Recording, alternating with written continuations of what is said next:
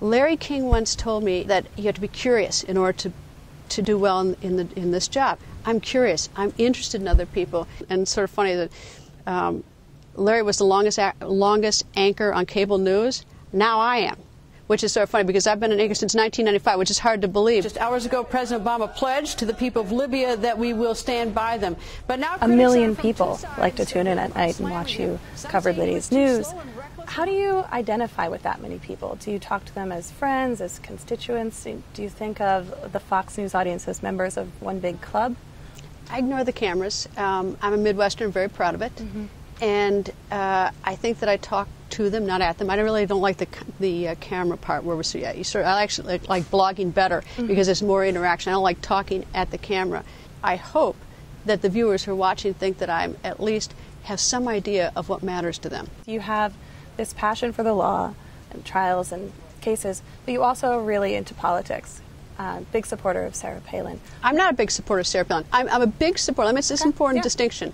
I'm a big supporter to make sure that the women get treated fairly, not extra special, but that they not be mistreated. And so that has been somehow uh, corrupted into thinking that I'm, quote, a big supporter of Sarah Palin. If you look at what I said about uh, Secretary of State Hillary Clinton and all her races, whether for the Senate uh, or for president when she ran, I said the same things. Give them a level playing field. Totally agree. Okay. Now, again, with such a big audience and we're looking at the idea of power as the ability to build and maintain a constituency or move people to, to action. Do you see having such a big audience as a power or a responsibility? Both. I mean, it's a power. I mean, Fox is a huge platform. Mm-hmm. And uh, I suspect if I walked off Fox today that I'd have no power. I mean, I'm not, I'm not so, you know, foolish about that. So that's, that's where we get the power is from the enormous megaphone that we have um, but it's also responsibility. I, you know, I work for somebody in the sense that uh, I work for the people. I mean, obviously Fox pays my salary, but my job is to get information for the viewers and to develop stories for the viewers, and I take that very seriously. I mean, it, uh, I think anybody who uh, cares about his job takes it seriously, and, and so it's a responsibility, but there's also a lot of power. So I wanted to ask you, who do you think is the most powerful woman in the world?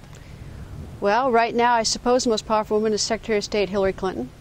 Um, you know, she she is and she's different than most secretaries of state. I've traveled with her a couple times, and when she lands in a country, it might as well be the president of the United States. It's because the whole world knows her. They knew her as first lady. Um, she's tireless. She works nonstop. I've never seen anyone work like she does. She's smart. She doesn't give up. Um, she cares. You know, people may not agree with her, but I can tell you, she works very hard for the American people.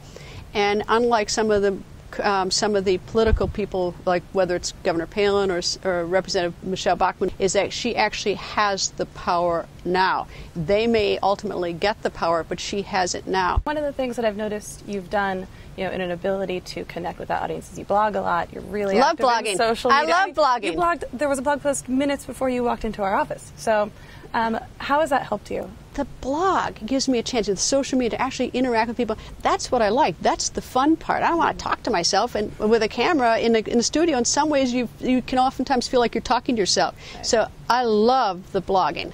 I love that. That's the most fun.